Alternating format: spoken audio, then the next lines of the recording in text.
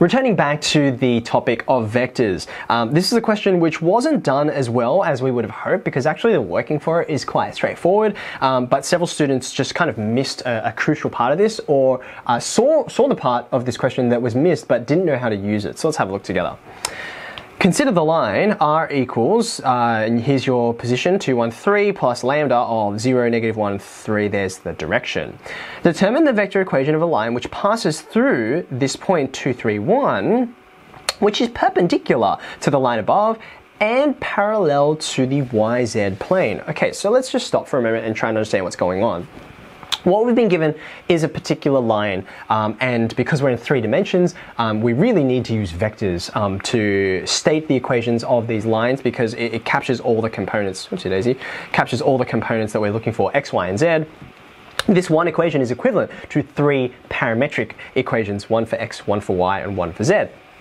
Now, we want to find a new line, or the equation of a new line, um, that passes through some other point, 2, 3, 1, and we want it to have these characteristics. It's perpendicular to this line. Now, I want you to remember, if you're trying to be perpendicular, this is a question of direction, right? So when you're talking about perpendicularity here, or orthogonality, as it turns out, um, you really need to pay attention to this direction vector up here, right? You want some uh, new direction vector, which when you, you know, compare these two, you should find that they are at right angles. And hopefully you're remembering the piece of knowledge that will help you here is that uh, when you take the dot product of two vectors that are perpendicular, um, you should get a dot product of zero, right?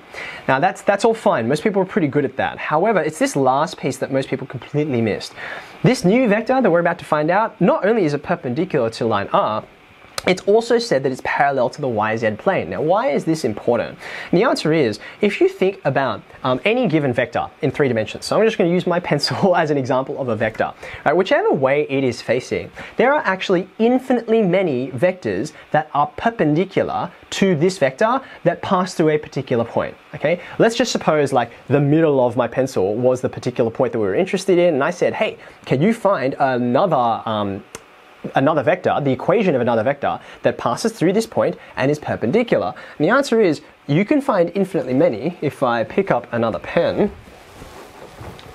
If you just imagine it like this, right? Um, said in the middle there, right? So here is a vector that's perpendicular, right? But if I say, well, hold on a second, uh, let's twist it around. This is another vector that's also perpendicular, and so is this one, and so is this one, and I can just go around infinitely many times, right? Um, there's no reason why I have to like be locked into one or the other. Now, that's why this last piece of information is so important, that it is parallel to the YZ plane. So if you can imagine like the YZ plane is like somewhere off to here, right? Well, this vector that I'm holding right now is no longer parallel to the YZ plane. It's going to collide straight with it. Uh, if I sort of it a little bit, um, it is still, I don't have enough fingers. Um, if I get that one right there, it's still perpendicular to my original vector, still passes through my special point in the middle. But if my YZ plane is here, right? Um, even though I don't directly collide with it straight away, eventually this vector is going to go and it's going to collide back where I positioned that, right? So there is only a single vector like this, I guess, pointing right at you, that's going to be parallel to this plane and also perpendicular to the original vector that I specified. So that's why you need that piece of information and very few students, um, or disappointingly few students, knew how to use it. So let me try and uh, illustrate to you how I would do it.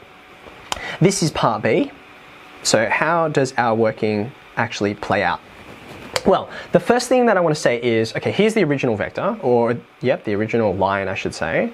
Original line, which is r equals, um, and it was given to us as 2, 1, 3 plus lambda of 0, negative 1, 3. So there's the original line, right?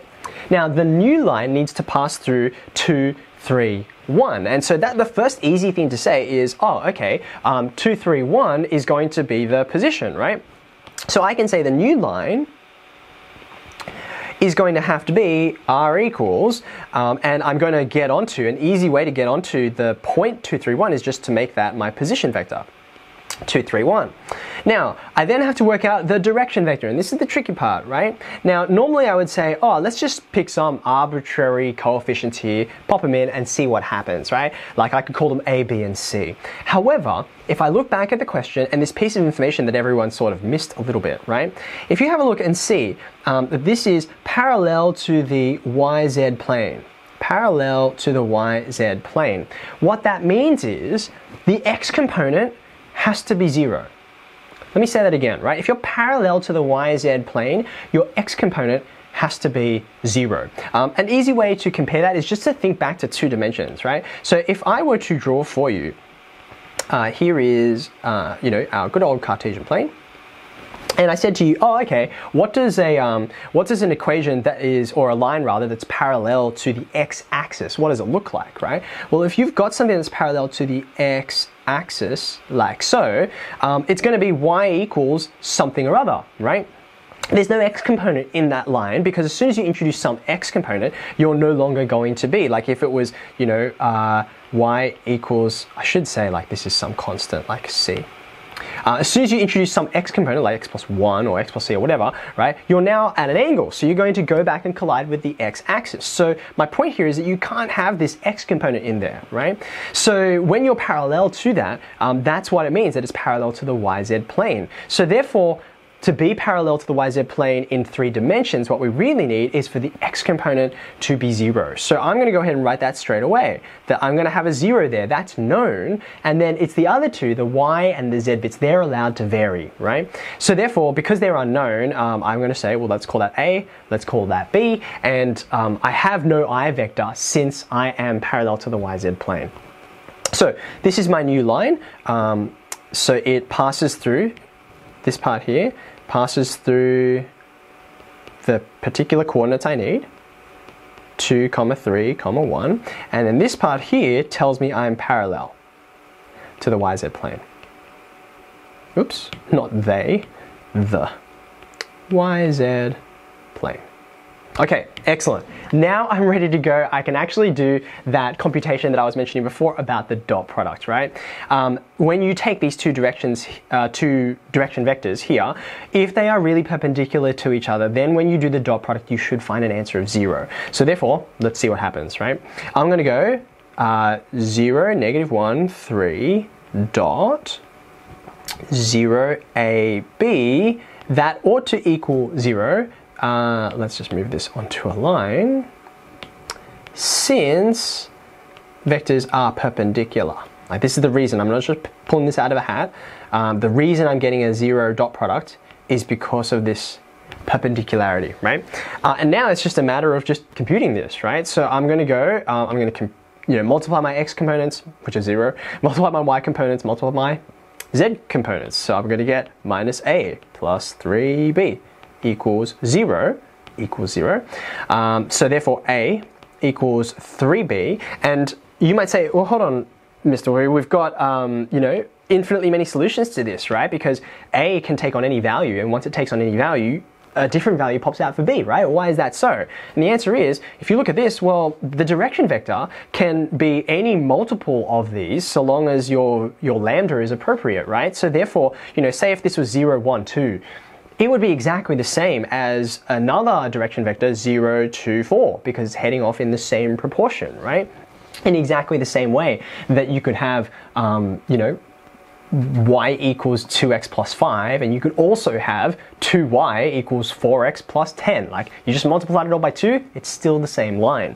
So that's why you get infinitely many solutions here. You just have to designate. Just pick a number pick a convenient thing right? So if I say let uh, b equal to 1, that will make A equal 3, and that's convenient. So let B equal 1, that means A equals 3, and that should do it, right? I can say, therefore, my new line is going to be equal to, uh, what was I on? 2, 3, 1?